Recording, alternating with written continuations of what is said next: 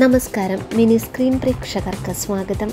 ഏഷ്യാനെറ്റിലെ ഹിറ്റ് പരമ്പര ഗൗരി ശങ്കരത്തിൽ കൃഷ്ണവേണി എന്ന കഥാപാത്രമായി എത്തുന്നത് നടി അക്ഷയ രാഘവനാണ്. മികച്ച പ്രേക്ഷക പ്രതികരണങ്ങൾ നേടി മുന്നേറിക്കൊണ്ടിരിക്കുന്ന പരമ്പരയാണ് ഗൗരി ശങ്കരം. ഗൗരി ശങ്കരത്തിൽ ആദർശ് വേണി ദമ്പതികളെയും പ്രേക്ഷകർക്ക് ഒരുപാട് ഇഷ്ടമാണ്. കർണാടക കൂർഗ് സ്വദേശിനിയാണ് വേണിയായെത്തുന്ന നടി അക്ഷയ. അമ്മയും അച്ഛനുമാണ് താരത്തിനുള്ളത് ഏക മകളാണ്.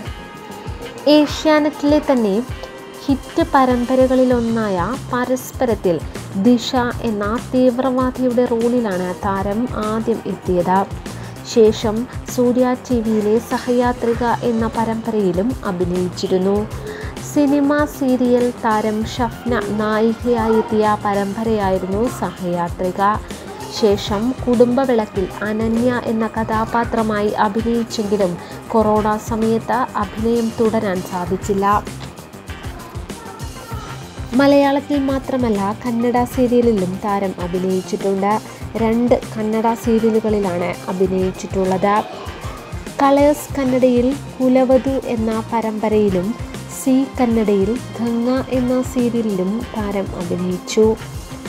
രണ്ടും ആയിരം എപ്പിസോഡുകൾ പിന്നിട്ട പരമ്പരകളായിരുന്നു. ഇരുപത്തിയെട്ട് വയസ്സുള്ള താരം ഇപ്പോൾ താമസിക്കുന്നത് കൂർഗിലാണ്. അച്ഛൻ രാഘവൻ പാലക്കാടാണ് അച്ഛന്റെ സ്വദേശം. അമ്മ കണ്ണൂരുകാരിയാണ്. കൂർഗിലാണ് താമസമെങ്കിലും വീട്ടിൽ മലയാളമാണ് സംസാരിക്കാറെന്നും മുൻപ് ഒരു അഭിമുഖത്തിൽ താരം പറഞ്ഞിരുന്നു. അതും കണ്ണൂരിലെ മലയാളം. മലയാളം എഴുതാൻ അറിയില്ലെങ്കിലും നന്നായി സംസാരിക്കുമെന്നും താരം പറയുകയുണ്ടായി താരത്തിന്റെ വിദ്യാഭ്യാസ യോഗ്യത ഗ്രാജുവേഷനാണ്. ഗ്രാജുവേഷൻ കംപ്ലീറ്റ് ചെയ്ത താരം കൂർഗിൽ ഫൈവ് സ്റ്റാർ ഹോട്ടലിൽ റിസർവേഷൻ ഡിപ്പാർട്ട്മെന്റിൽ ജോലി ചെയ്യുകയായിരുന്നു. അതിനിടയിലാണ് സീരിയലിലേക്ക് അവസരം വരുന്നത്.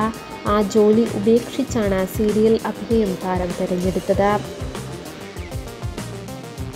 സി കേരളത്തിലെ ഹിറ്റ് പരമ്പരയായിരുന്ന മിസ്സിസ് ഹിറ്റ്ലർ എന്ന പരമ്പരയിൽ വളരെ ശ്രദ്ധിക്കപ്പെട്ട ഒരു വേഷത്തിലും താരം എത്തിയിരുന്നു.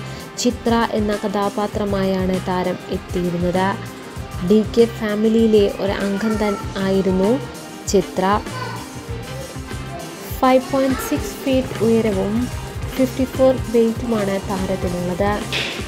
കന്നഡ സൂപ്പർ താരം കിച്ച സുദീപിന്റെ പയൽമാൻ എന്ന സിനിമയിലും അക്ഷയ അഭിനയിച്ചിട്ടുണ്ട്.